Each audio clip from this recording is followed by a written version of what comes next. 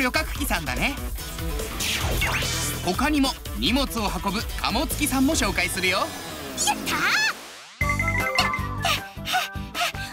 飛行機さんがたくさん止まってるやあラッピーよく来たねよろしくこんにちは近くで見ると大きくてかっこい。い。っぴこんなに大きい。のに時速およそ900キロもの速さで飛ぶことができるんだよ。900キロ？どうしてそんなに速く飛ぶことができるの？それはジェットエンジンのおかげさ。羽についているジェットエンジンは入ってきた空気をぎゅっと圧縮して燃料を燃やすことですごいパワーが出るんだよ。このボーイング787はおよそ300人のお客さんを乗せることができるんだ。300人？すごいっぴ僕は人を乗せるけど荷物だけを運ぶ貨物機っていう仲間もいるんだ。会ってみたいっぴおいラッピー！ここだよ！ここここ！ヘルメットをかぶってこっちにおいでよ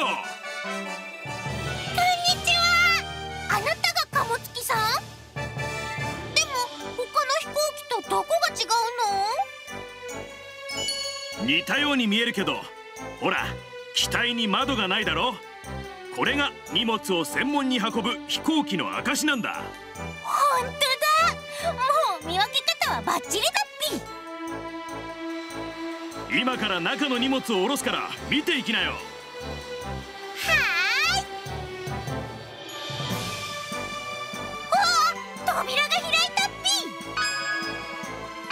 貨物機さんは一度にたくさんの荷物を出したり積み込んだりするから扉が大きいのも特徴なんだ。本当だね。ここで俺の出番よ。あなたは？俺は貨物機くんから荷物を下ろしたり積み込む仕事をするハイリフトローダーっていうんだ。ハイリフトローダーさんは荷台を貨物機さんの高さまで上げることができるんだ。あれれ荷物が勝手に動いてる？どうなってるの？床にローラーがついていて荷物を乗せたパレットっていう板がその上を流れていくんだ。だから荷物をスムーズに出せるんだよ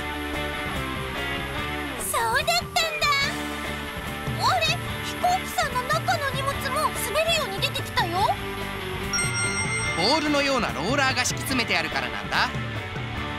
うわ荷物がなくなったら空っぽになっちゃったっぴ。そう荷物がたくさん積めるように機体の中は空洞になっているんだ。さらに下の部分にも荷物が積めるんだよ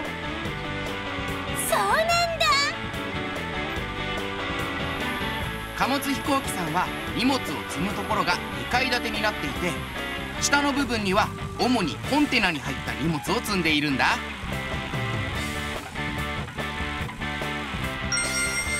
えたくさん積むところがあるんだね。それをトレーラーさんが倉庫に運んでそこから目的地に届けられるんだ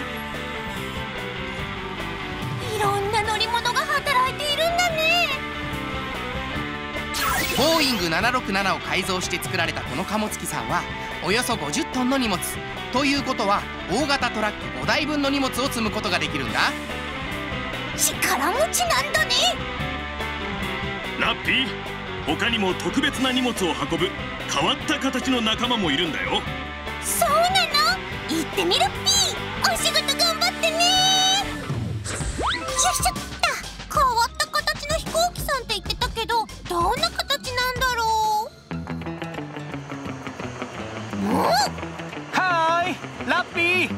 せたね。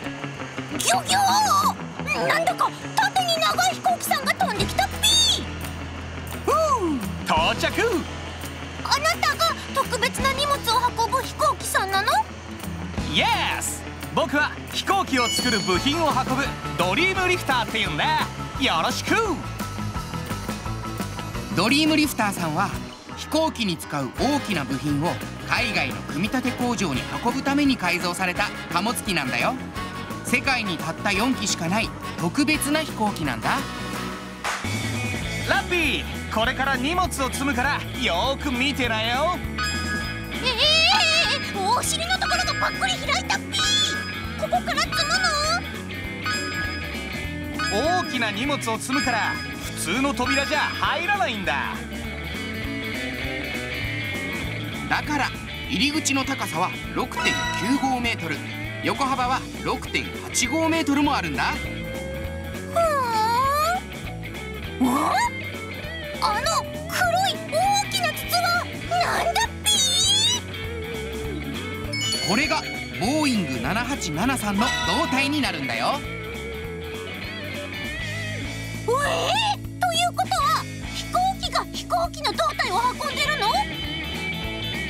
そうさ。俺はボーイング社の飛行機に使う部品をアメリカにある最終組み立て工場に運んでいるんだ。ラッピー荷物を積み終わったからアメリカに帰るぜ。ドリームリフターさんバイバイ。ラッピー僕たちジェット旅客機と貨物機のこと分かってくれたかな？うん。よくわかったっぴ今度は僕も乗ってみたいっぴゴーゴー乗り物タウン。フライングホヌさんだよ。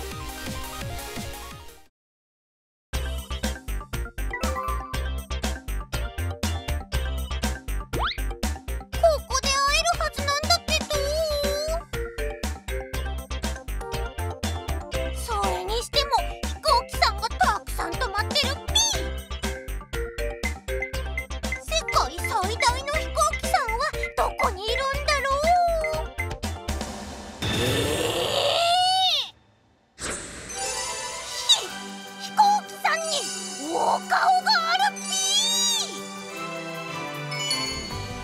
ぴ僕はエアバス A380 型機のフライングホヌっていうんだ。よろしくね。あこんにちは。フライングホヌさ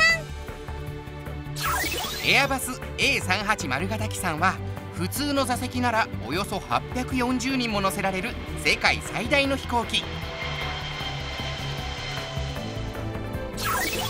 フライングホヌさんは座席がゆったりしているから定員は520人なんだ。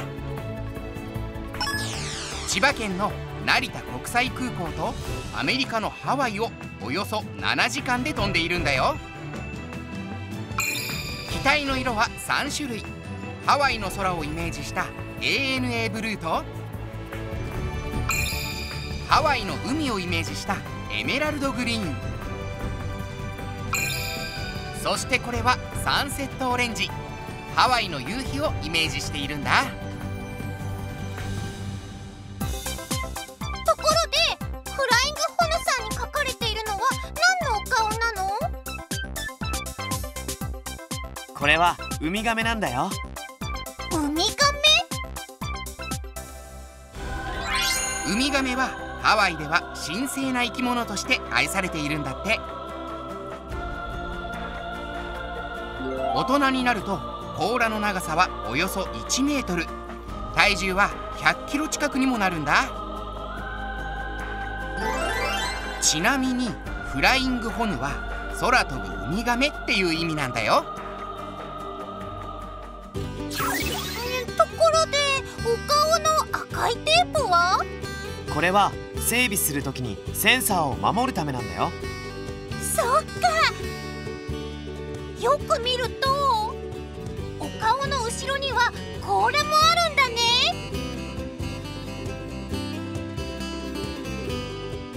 こっちには小さなカメさんが2匹もいた。こうやって見るとウミカメさんみたいに大きな体なんだね。フライングホヌ山の全長はおよそ73メートル。客室は2階建てになっているんだ。それに他の飛行機さんはジェットエンジンが2つの場合が多いんだけどフライングホヌさんは体が大きいから左右の翼に2つずつ合わせて4つもあるんだ。そうなんだ。ジェットエンジンは前から入る空気をギュッと圧縮して燃料を燃やすことですごいパワーを生み出すんだよ。ラッピー次は中を案内するから乗って乗って。はーい。中はどうなっているのか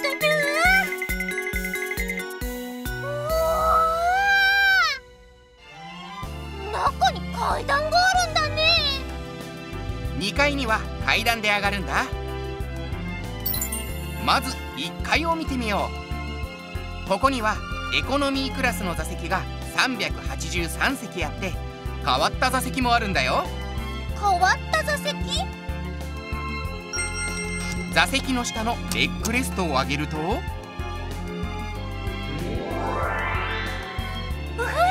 ー広いね。予約しておけばベッドとして使うことができるんだ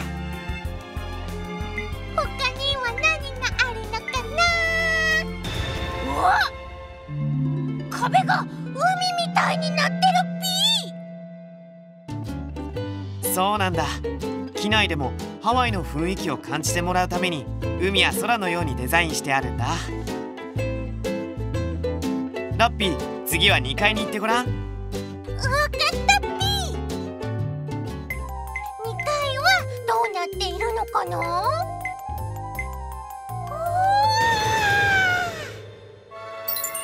ここはファーストクラスといってわずか8席しかない特別な席なんだ。飛行機の中じゃないみたい。一つ一つの席がゆったりしてるピーすごいでしょう。しかもドアまでついていて閉められるんだ。さらに座席にあるボタンを押すと自動で平らなベッドのようになっちゃうんだ。ラッピーすごいでしょ。って寝てるし。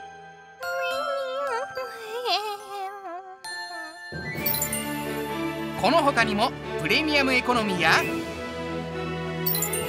ビジネスクラスなど。2階にはゆったり座ることができる座席が137席もあるんだ。ラッピーこの後僕はドックで整備をしてもらうんだけど見ていくかい？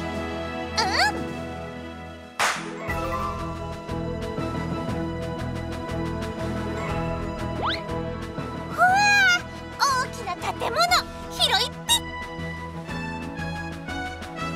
ここはドックと呼ばれる飛行機さんの整備工場だよ。飛行機が3機も入れる広さがあるんだラッピー今整備をしてもらっているから見ていってくれよ。これは何の整備をしているんだっぴ？ライトを交換しているんだよ。へえ飛行機さんはタイヤの上にもライトがあるんだね。知らなかったっぴ。こっちはタイヤやブレーキの点検だね。タイヤの空気圧やブレーキの効き具合をチェックしているんだ。そしてこれは燃料の点検。燃料の品質に問題がないか確認しているんだ。整備士さんたちのおかげで僕は安全に空を飛ぶことができるんだ。点検や整備ってとっても大切なんだね。今日はいろいろ教えてくれて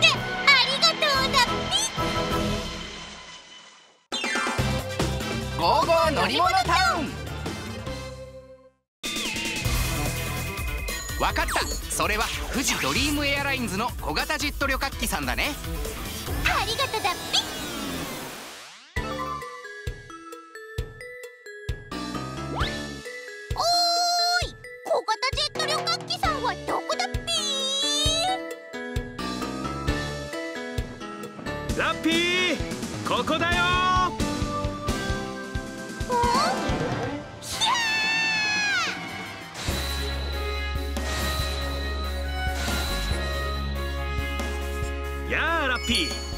の名前は小型ジェット旅客機。よろしくね。ラッピー富士ドリームエアラインズの小型ジェット旅客機さんは富士山静岡空港や名古屋小牧空港を中心に20の路線で活躍しているんだ。時速およそ850キロで飛ぶことができるんだよ。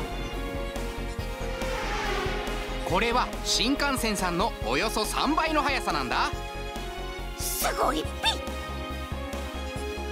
ところで小型ジェット旅客機さんはどこが変わった色なんだっぴ？待っていればわかるよ。待っていればわかるって。えー、金色の飛行機さんが飛んできたっぴ！はあ今度は紫色の飛行機さんが飛んでいくよ。驚いたかい？僕たちは機体ごとに色が違うんだ。色の種類は鮮やかなドリームレッドにイエロー。そしてパープル。グリーンにシルバー。そして僕オレンジ。そんなに？まだまだあるんだよ。ピンクにこっちはライトブルー。ティーグリーンにゴールド。そしてホワイトにグリーン。さらにネイビーにワインレッド。ローズピンクにバイオレット。全部で16種類の機体があるんだ。すごいカラフルだっぴ見てるだけで楽しくなるね。ラッピーこの後鹿児島までのフライトがあるんだけど乗ってみるかい？そうなの？乗りたい乗りたい。小型ジェット旅客機さんはおよそ80人を乗せることができるんだ。でも機体を大きくすればもっと乗せられるんラッピー。機体が小さいといいこともあるんだよ。国内線のジェット機は大きさによって4つの種類に分けることができるんだ。こんなに大きさが違うんだね。機体が小さいと短い滑走路でも離着陸ができるし準備の時間も短くて済むんだ小さな空港が多い地方を結ぶルートで活躍しているんだよ。ラッピー空の旅に出発するよ。楽しみだっぴそれじゃあ行ってきま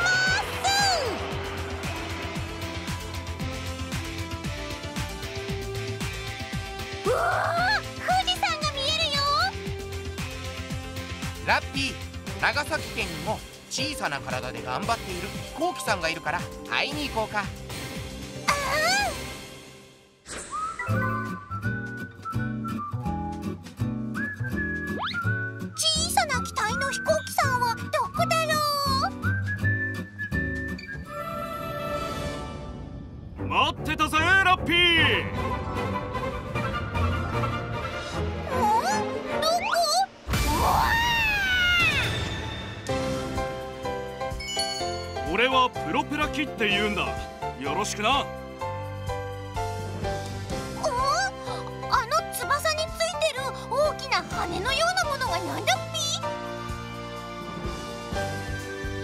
ラッピー。プロペラ機さんは翼についているこの2つのプロペラが特徴なんだ。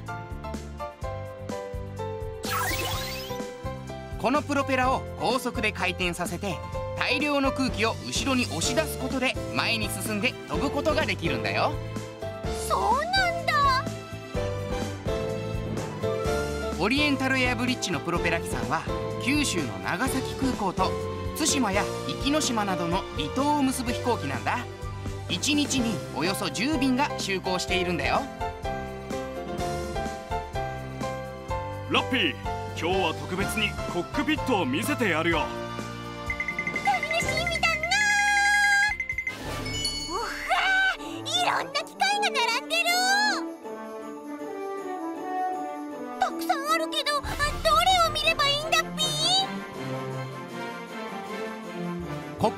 には2人のパイロットさんが乗ってメーターなどで速度や高さを確認しながら飛行するんだ。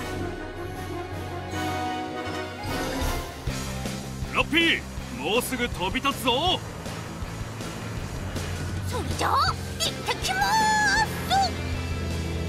す。楽しんできてね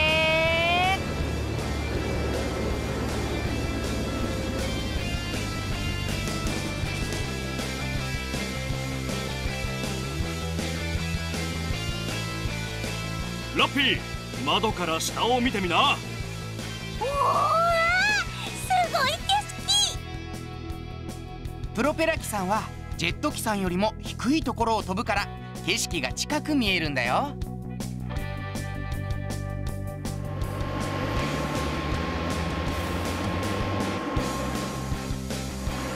ラッピーそろそろ着陸するぞ。え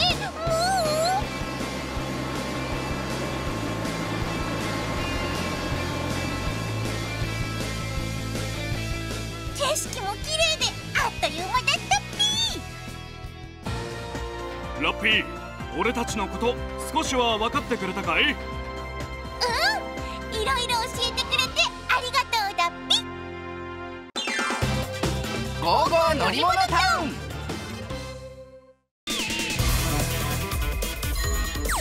それはジンベエジェットさんだね。沖縄の那覇空港を中心にいろんなところを飛び回っているよ。沖縄に行ってごらんよ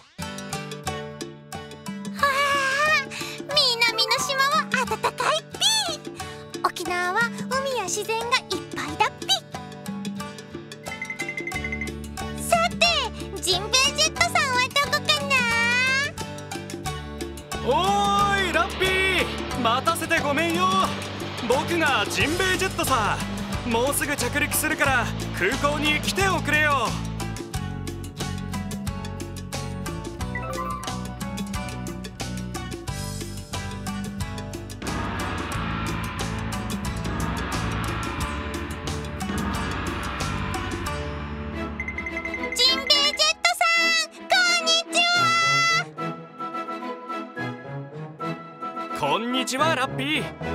こそ沖縄へ。よく来てくれたね。ジンベエジェットさんは沖縄を中心に日本各地を飛び回るジェット旅客機なんだ。一度に大勢の人を運ぶために座席は全部で165もあるんだよ。ジンベエって変わったお名前だけどどうしてそのお名前がついたの？それはね僕の体に描かれているある生き物の名前からもらったんだよ。なんだろう。僕に描かれているのはジンベエザメっていう魚なんだ。ラッピーは見たことがあるかな？見たことないっぴどんなお魚なのかそれなら水族館があるから見ておいでよ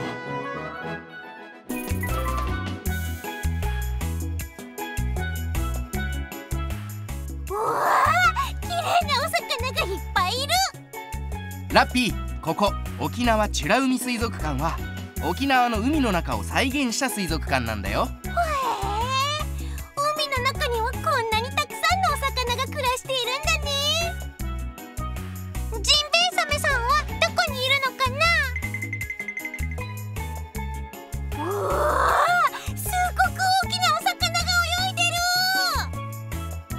ラッピーあれがジンベエザメさんだよ。魚の中で一番大きくてサメの仲間なんだ。全長は8.7メートルもあるんだよ。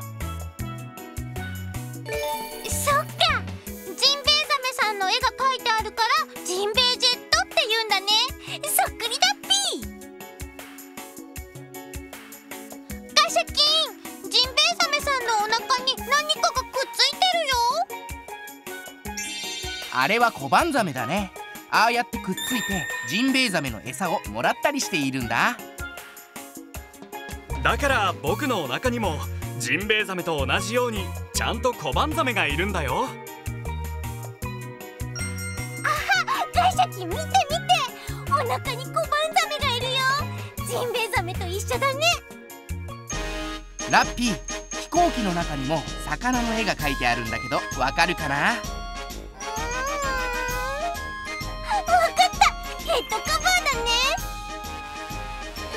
その通り。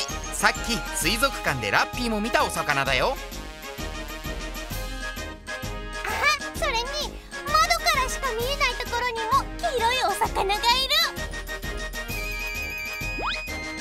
いろいろなところに工夫がしてあるんだね。沖縄美ら海水族館と日本トランスオーシャン航空が協力してジンベエジェットさんが生まれたんだ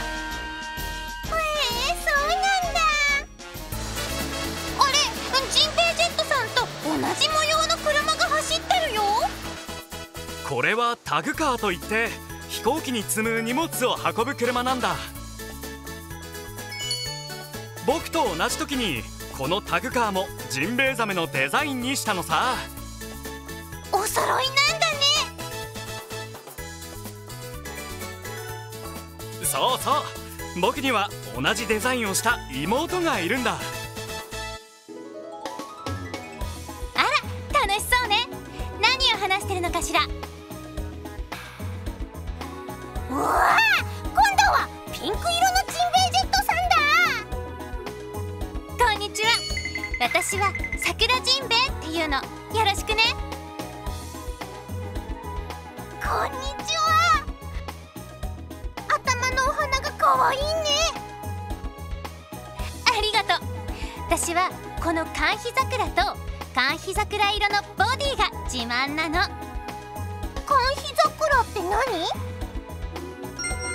縄で1月から2月頃に咲く花だよ。日本で一番早く咲く桜と言われているんだ。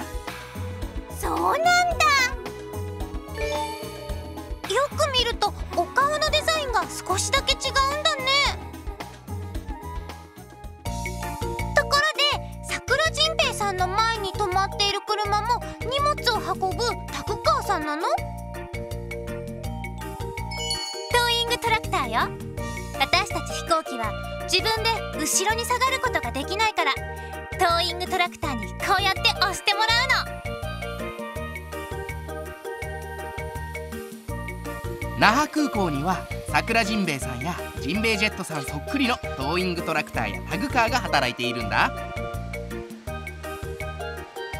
まるで水族館みたいだね。飛んでいる時も同じさ。ジンベエザメが空を泳いでいるみたいだろそう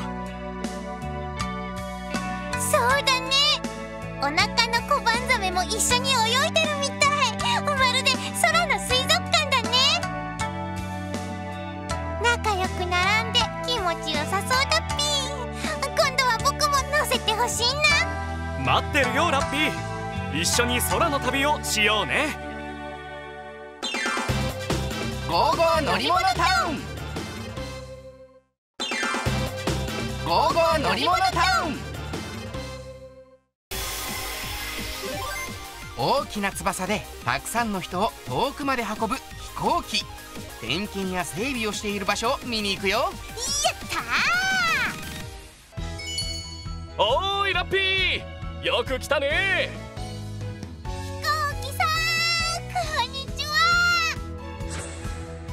飛行機は大勢の人を乗せて遠くまで運ぶから安全に飛ぶために整備が大切なんだ。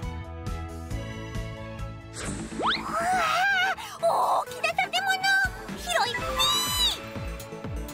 ぴラッピーここがドックと呼ばれる飛行機の整備工場だよ。とっても広くて10機の飛行機を入れることができるんだ。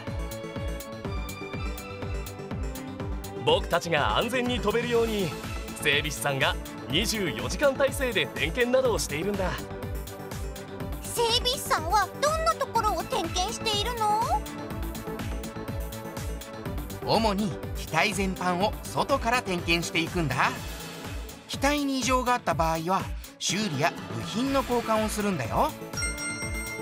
これはフライトの前後で毎回行う点検なんだ。一日に何度も確認しているなんて他にも飛行時間や着陸回数などによってエンジンやブレーキなどに異常がないかさらに細かいチェックをしていく整備作業もあるんだ。ね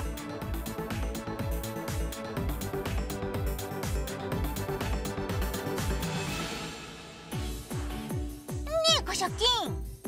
飛行機さんのタイヤがいっぱい置いてあるよ。そう飛行機はたくさんタイヤを使うんだよ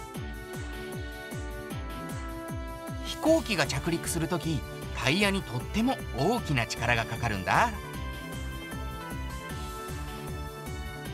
そこで安全に離着陸するため定期的に新しいタイヤと交換するんだよ。